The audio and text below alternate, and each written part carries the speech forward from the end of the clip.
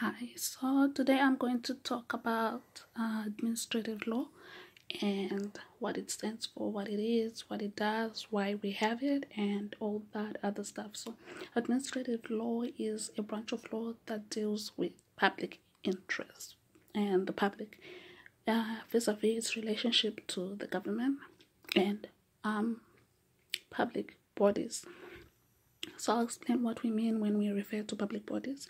We mean these um, agencies that are put in place by the government to do specific public in, public duties or duties for the public, right? Um, so this could be hmm, pension fund. This could be any government um, any governmental office is an administrative office but then there are special um, specially put offices for um, public relations sort of and then there are specific um, groups that are put to push forward specific things for specific reasons, depending on the economy, depending on the troubles and stuff like that. So, administrative law is there so that the government does not abuse its power, and the principle that we use for this is called the rule of law. And so the rule of law says no one is supposed to be above the law. Of course, some democracies have um, immunity, which we talked about in evidence. This goes against the principle of um, the rule of law because the rule of law says that everyone should be held accountable no matter the office they have, and that's um, part of the principle of balancing power. So the balance of power breaks down the public bodies and the supreme powers. Um, so we have the legislative, and then the um, we have the court system, which is the judiciary, which is independent, and then we have um, the people in government. So that's why the parliament is usually different and not dependent on who's president, who has the ma- majority seat. Like it's not. It's meant to limit bias by as much possibility as possible, and because this is we have three theories as to why other types of special um, administrative bodies are put in place. Um, so the three broad principles will be public interest theory, which simply says people put bodies to push forward their values um, collectively for the general good. We have the interest group theory, which is basically um, agencies pushing forward um, what we may call political brokers, like so. It goes to the public choice theory, which also says like people who have economic influence usually try to influence public authority. That's why you have billionaires donating to the government and making these public interest enterprises that sort of help um, the public or do some stuff. Um, so we have principles that try to get justice because these people or bodies have an unfair advantage and authority and linkage that the general person does not have or a group of people do not have. So when a group of people are equally aired and have grievances, we call that class action. And then when it's an individual, this is the state versus the individual, the individual versus the state, right? So to balance the power between what happens, we have a set um group of things that we expect to be done and to be followed for us to say this was done equally and fairly.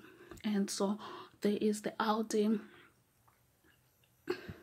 Audi Alteram Partem, which is basically the principle that um, everyone has the right to be heard. So if you feel like a grievance has been done, you have the right to say so, and we have an obligation to listen.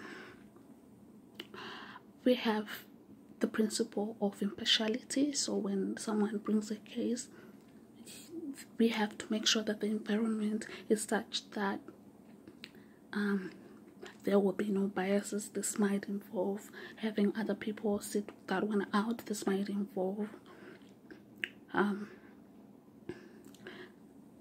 a lot of things, but the general point of doing all those things is to make sure that the case is treated without bias or impartiality. So if there is um, conflict of interest or anything like that, we expect that to be taken care of. Um, we have the the duty, the right to have reasons given. So if you get fired or if something happens, you have the right to know why.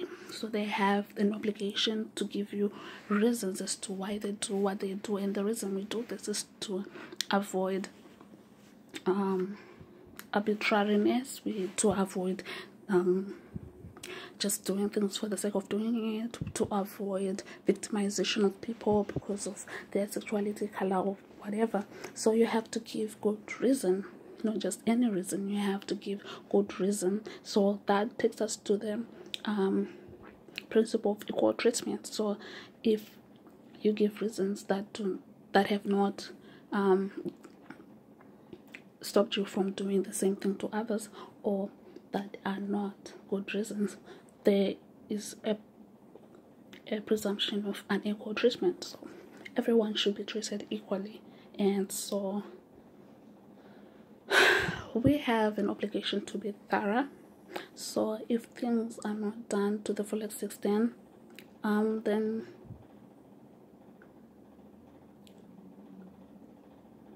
whatever decision if it was based on ad fact that's a problem. They should do their homework. They should investigate. They should do things thoroughly.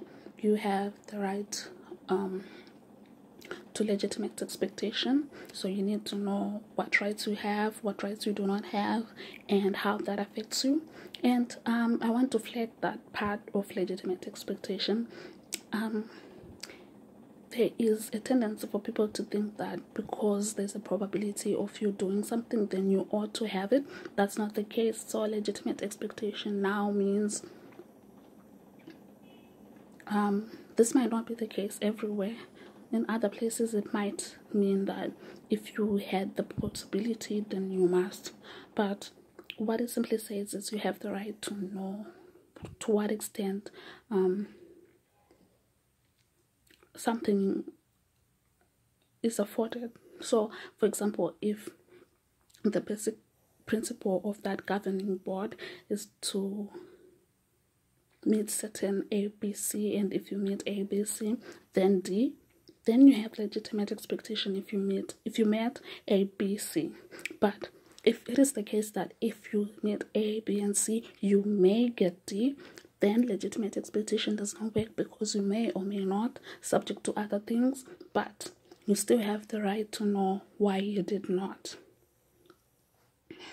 So, um, we have um, a principle of obad, obad, obadmanship, and this is a foreign principle that started maybe in Sweden Hmm. Anyway, the history of this is too complicated or not with our well. However, um, I want to talk about the the uh, in introduction of public bodies that do certain things, and this might be to address certain situations or to control situations. So, for example, when I'll talk about the post election period in Zimbabwe 2008, where the government issued a body, a public body, which was meant to um, establish national healing and reconciliation. By this, they're talking of casualties of the um, pre election violence where people were subject to long arm and short arm violence, cutting their limbs, um, and all sorts of evil things that were done to sort of intimidate people and victimize people uh, for the ruling party. So, what this um, body was meant to do was to diffuse the situation and try to um, provide justice for the people that were affected. There is also a control mechanism. Now, in most African states, this is kind of exaggerated, like putting the army in the middle of the the capital and saying it's necessary. Like it's meant it was just a goal, nothing more to it. But then let's look at um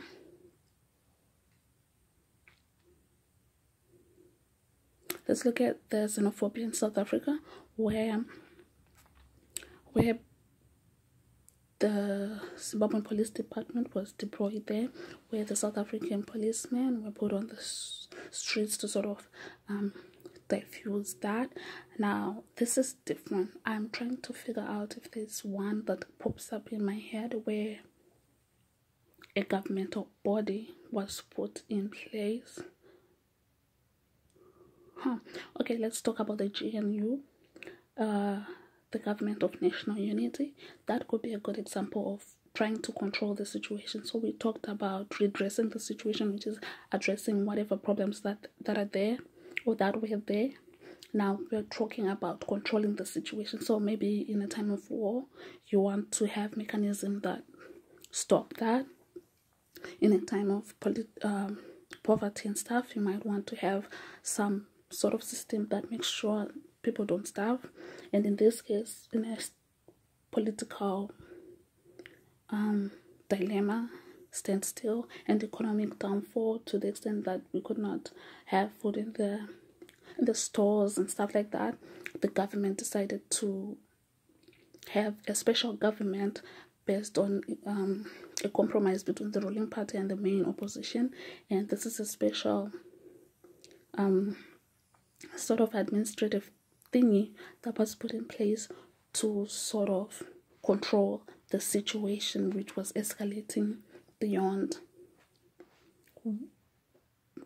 I mean was just escalating to unreasonable proportions. Um so these are special tribunals.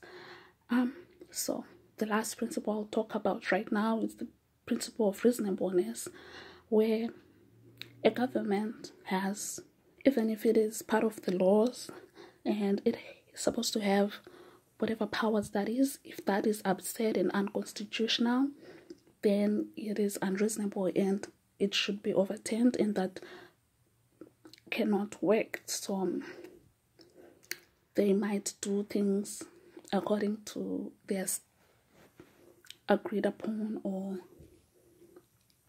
given um, limitations and laws, but that does not mean they can do stuff that is unconstitutional. I'll give you an example of the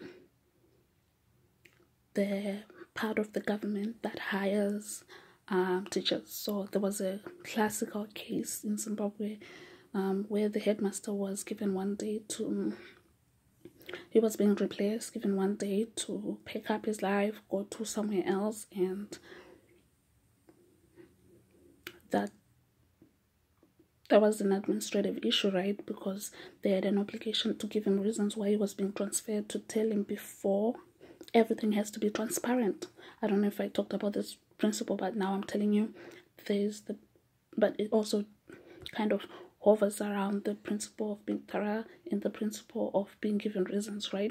So everything has to be clear, explained, and you have to be given enough time.